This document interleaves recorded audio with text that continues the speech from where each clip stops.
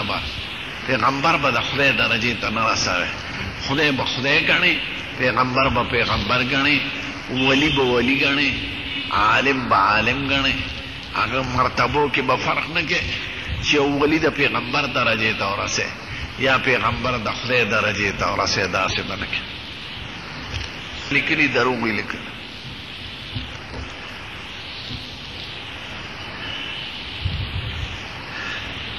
بدعات باندې کتابونه بدعت هغه کار ته وایي چې هغه خلک د عبادت په نوم روان کړي نه د دواړو جهانو نه سردار نه ثابت دی نه د صحابه کرامو نه ثابته وي، نه هغوی پسې چې کوم بهترینه ډله ده، خیر القرون، د هغوی نه ني ثابته او ته کې نو هغې ته بدعت وایي او د دین په نوم یې کې، د دنیا په نوم نه، لوډفیکر اوس بدعت نه دی. د حضور زمانه کی نو پکی بدعت نه دی جماعت پوخ جوړول بدعت نه دی ځکه د حضور زمانه کی دا اسباب نو او هغه شی چی د هغه په زمانه کی وی او بیا یی نه کړی لکه بعضی خلک جماعتونو کی پړی ګیی چی زه په صف نیښ کم. نو پړي خو د حضور په زمانه کي وو او هغه يي نه دي کړي او نه يي صحابو ته ويلي دي نو دغه ته بدعت ويل کيږي نو چي کوم شي د حضور په زمانه کي نه يي شوي او ته يي اوس کي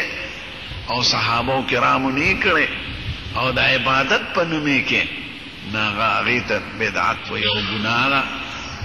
بدعت کي دوه ګناهونه راځي يو خو کار دي غلط دي.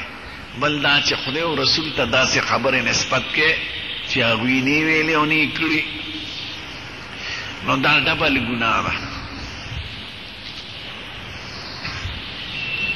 مشهور چا لیکلي مشهور لکه په قبر باندې د یوې بلو د دې فیصد فایده څه ده جومات کې بلې که نه څوک مونځګزار خو به پرې مونځ وکړي او څوک به پرې تلاوت وکړي او اکثر چې خلک بلي کړي زموږ طرف ته د شړشمو د تیلو ډیوه نو سپي لاړ شي نو سپي خو په دې نه پوهیږي چې دا قبر دی که څه شی دی ډبه ده نو هغه تیل وڅټي او خپه اوچته کړي هلته پرې متیازې وکړي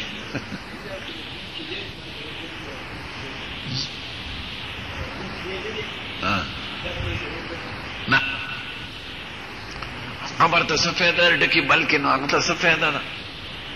جماعت کې بلکې یو مجلس کې ثواب یې هغه ته وبخښه چې د چا دپاره کې که نه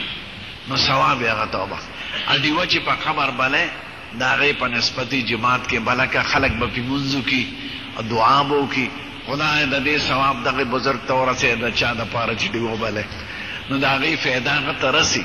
او که په هغه په قبر باندې لوی راډ بل کړي نو هغه ته څه فایده ده؟ هغه خو دننه په قبر کې په تیارو کې پروت دی. اعمالو فایده هغه ته رسي، د صدقو فایده هغه ته رسي او د ډیوې فایده هغه ته نه رسي.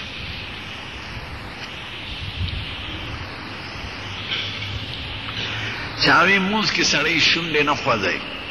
او بلکل په زړه کې تلاوت کوي. نو دا نه دا صحیح نه ده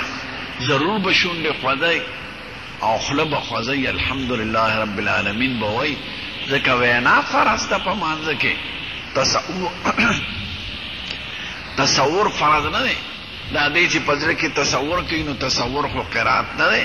قرات وایي د خولې وینا ته نو د خولې وینا ضروري ده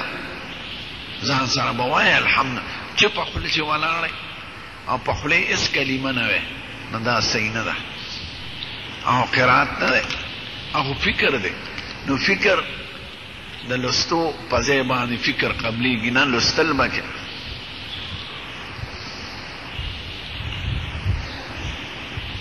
جوار چې جنس یې بدلې که نه نو بدلې روا دی خو په مجلس کې به کوي که زیات و کم وي هم خیر دی او که جنس یو وي غنمي او غنم یا غنمي او د اوړو غنمي نو هغه به برابر په برابر کړي هغې کې زیاتې او کمې سود دی او چې جنس بدل شي لکه غنم او جوار نو زیاتې کمې په کې روا دی خو قرض به په کې نه کوې قرض یعنې توس ورکړي ماله به د دې په ځای غنم راکړې دغه قرض او یو هسې چا سره قرض کول دي، شل سېره من قرض واله ماله به راکړي، دا روا ده؟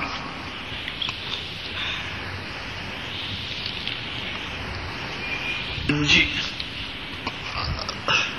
کلونجي یو توره دانه ده، د سپېلني د دانو په شان ده او د دواړو جهانو سردار یې صفت کړی دی. او هغوی وايي چې په دې کلونجي کې د هر مرض شفا ده د هر مرض علاج دی بغیر د مرګه نو کلونجي دا خشي دی د هغې تیل هم خشي دی او دانې هم خشي دی او ترکارۍ کې استعمال هم ښه دی او که د سړي دغه وي جبې وي او په یو پوزه کې د هغې څاڅکې دغه کړي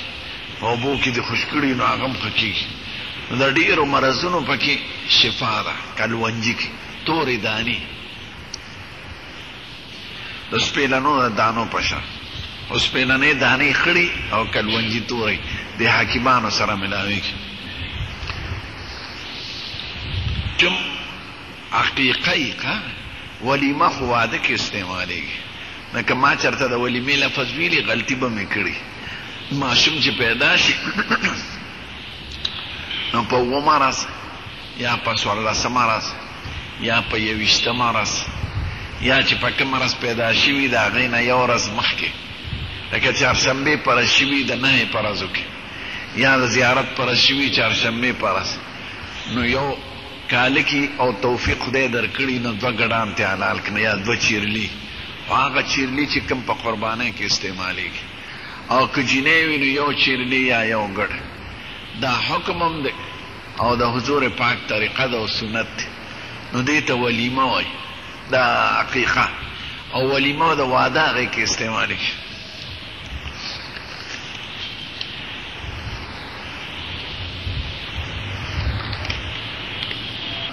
خوله چې په سړي باندې او وړې وړې دانې پرې راوخېژي، دا ماتون نه وي په کار، خو که دومره وه چې تا ماته کړه او اوبه ترې راروانه شوې، نو بیا پرې اودس ماتېږي او که اوبه ترې ډېرې او ترې راروانې شوې وي، هسې دانه شان راوباسي، لږ دې کړه.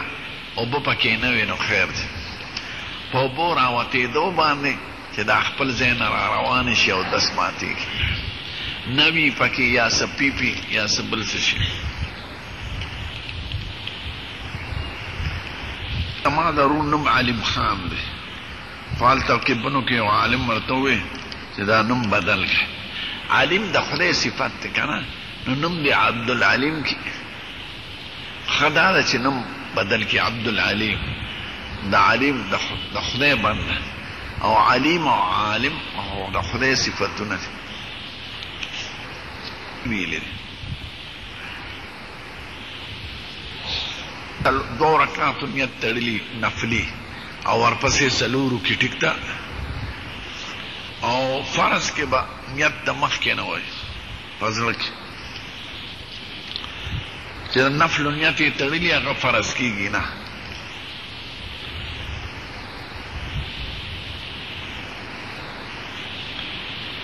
پی شریفه تصویر که چا جوړ کړي او په ټوکړه یا په رنګ او به خرڅوي نو خیر دی خو د هغې عزت د بیت الله نه دی یعنې خپې ورته اوږدول یا هغې ته مخامخ او دسماعتې ته ناسته د دې حکم نشته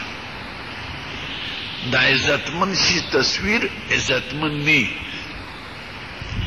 د یو لوی بزرګ د یو لوی لیډر د یو لوی سړي تصویر تصویر عزتمند نی تصویر خو کاڼی دی کاغذ دی صحیح ده رنګ دی هغه شلول هم شی د دواړو جهانو سردار چه مکه مکرمه فتح کړه نو په بیت الله کی بوتان وو نو یو بوت د ابراهیم علیه السلام په نوم وو. او یو د اسماعیل علیه السلام په نوم او دواړو لاسونو کې یې غشي د پالونو غشي ورکړو چې کني هغوی به پالونه وښکل نو نبی کریم صحابیو چې وروخیژه یې راوغورځوه نو هغه بوتان یې راوغورځو. او ډکرې ډکرې کړه. دوی ونه ویل چې دا د ابراهیم علیه السلام بت دی، عزت یې په کار دی. او دوی ونه ویل چې دا د اسماعیل علیه السلام د بت عزت نه او د تصویر عزت نه، عزت د هغه انسان دی. نو که تصویر چا د پیغمبر هم جوړ کړی وی شله وه او که د لیډر یې هم جوړ کړی وی شله وه. او خو کاغذ دی او نښه ده او صحیح ده او رنګ دی د خانه کعبې تصویر تصویر دی د هغې هغه عزت دی چې کوم د بیت الله دی چې مخ شا به مثلا او دسماتې به ورته مخامخ نه کړې او بې ضرورته شا کومه نه دا خو نقشه ده د نقشې عزت د اصل عزت نه یو ښځې کاغذ دی وی موږ دوه خویندې